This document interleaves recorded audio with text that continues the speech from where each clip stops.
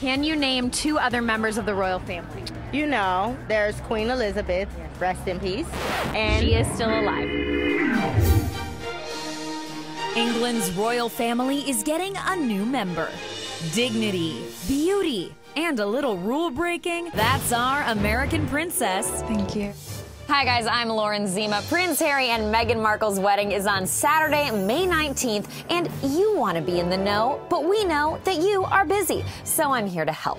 On Spillin' the Royal Tea, get all the fashion, the regal refinement, and of course, the tea. We're even heading to Britain for the wedding itself. You have to have a hat. You can't go to the royal wedding without a hat. Do people judge each other on the hats? Of course. Of course.